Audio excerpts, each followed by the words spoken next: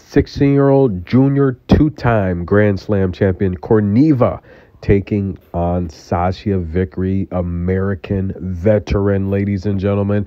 Now, Korneeva, she won the girls Australian Open Championship last year against Mirra Andreeva.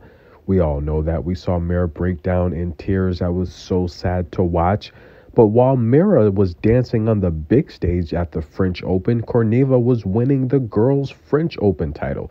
Listen, I would have loved to see Mirra and Korneeva with a rematch at the French Open. That would have been great. But listen, guys, she's ready to turn pro. She's 16 years old. I imagine she's got a ton of sponsors, the best coaching and training in the world. Junior number one. But she's ready for the big leagues. We're going to see if she can make the big dance, but she's got to go through Sachia Vickery first, and she takes the first set. Now, we've seen Korneeva take out some tough opponents. Recently, Harmony Tan, right? I, I gave you that pick there in France not too long ago. I mean, she's beat Harriet Dart, Chloe Paquet. She's beat Fiona Ferro. She's beat some solid competitor, competitors. And look, to think she can't make this draw – look, I, I mean, I, I think she can, but Sachia Vickery is a grown, fill in the blank woman. And that's a power difference she just hasn't faced. I mean, a lot of the opponents she's beat. I mean, she beat Doris Snyder. That's a good win as well. The win against Fiona Ferro's uh, a good win.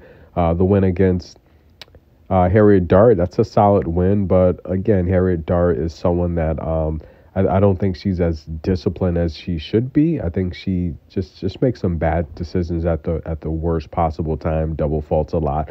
And Korneeva has a really strong, powerful serve that's going to keep her in. What's surpri- What's surprising me about a lot of these young, uh, a lot of these young juniors, especially these Russian ladies, is they're very strong for 15, 16 years old. So that's that's very um, that's interesting. But nonetheless, guys when they get older, they're probably going to dominate the tour. But Sachia Vickery, she drops the first set, but looks like she's getting things together here in the second set. Could Sachia win at least one set? I mean, that was minus 160. Are you, are you crazy, man? That's a lock.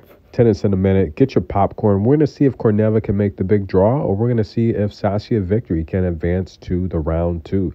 And I imagine, look, if uh, Korneeva doesn't get in, she can always resort back to the juniors um, and, and, and defend her, her title. I mean, that that is an option, if I'm not mistaken. She will be also able to play in the juniors uh, slam competition as well. Tennis in a minute. Get your popcorn. A lot of great tennis going on. Listen, I got Coco winning the Australian Open. What do you guys think? Comment below.